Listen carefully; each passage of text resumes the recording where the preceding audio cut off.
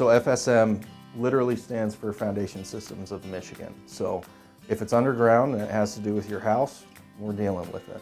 When someone comes into your home and you've got an issue, whether it's with plumbing, roofing, HVAC, etc., you're expecting to get the best service and the most honest service. We're going to tell you exactly what's going on with your house. And we're going to ed educate you on not just how to fix it, but preventative maintenance in the future so that these issues don't arise again. We emphasize very strongly to our team that the work we do needs to be work that the homeowner needs and work that the homeowner expects excellence in.